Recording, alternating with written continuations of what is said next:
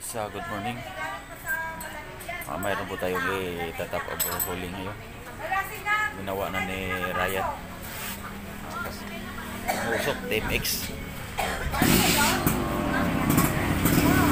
155.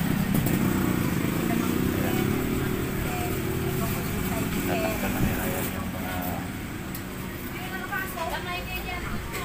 mga bubot yan. Uh, tatanggal na ni Rolling. Ayun yan.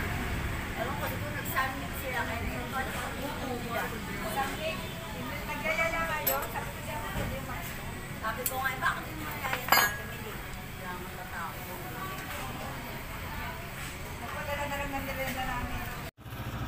Ah, yes, ayan na yung ah ah, top overhaul kanina.